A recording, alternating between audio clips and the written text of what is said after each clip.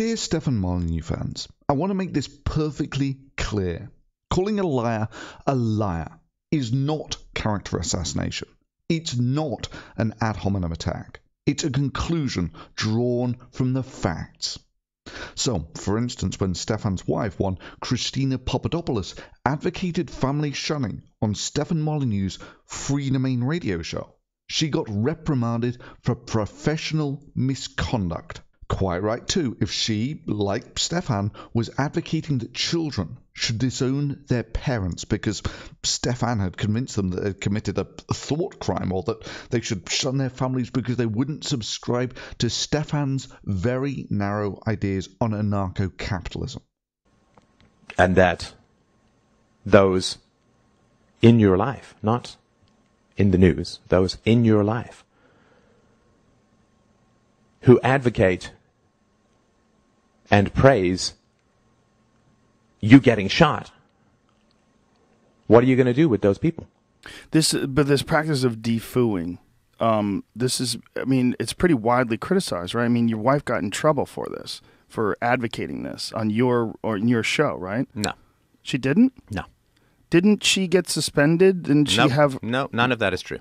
It's so that's just lies. She it's um, online. Yeah, none of it is true. Let me just say that again.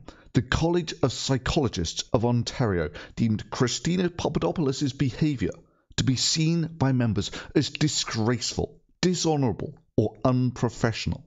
Stefan Molyneux fans, I want you to note that this is no vanilla white lie.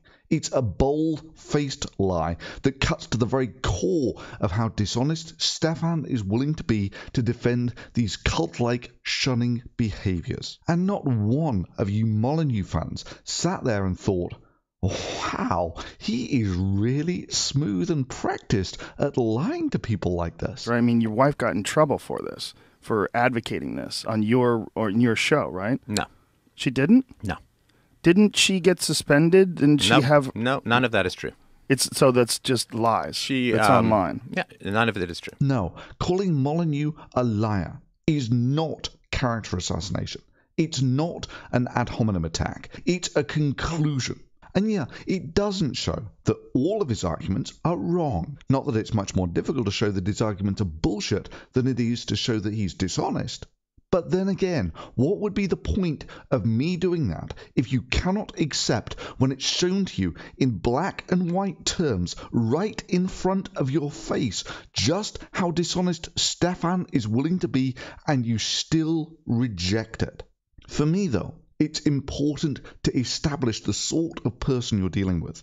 This is why it was important to show how dishonest Anita Sarkeesian was willing to be. These were not vanilla white lies, but giant, elaborate, strategic lies told to manipulate people and promote an ideology. And yeah, if you're going to deal with such people, it's important to establish the sort of people you're dealing with, lest any innocent onlooker thinks that both parties are acting in good faith and should be simply taken at their word. So, one last time for the hard of hearing calling Molyneux a liar is not character assassination. It's not an ad hominem attack. It's a conclusion based on the facts. Nor does the fact that he advocates that his followers shun their friends and family simply because they think that you should pay taxes, while simultaneously expecting his followers to give him money such that he can happily pay all of his taxes and obey all of the rules I pay my taxes. I obey all the laws. Right. exactly speak to how seriously he takes his philosophy. Because how can I have even a shred of self-esteem, a shred of pride in my own existence if I'm willing to hang out with people who want me shot?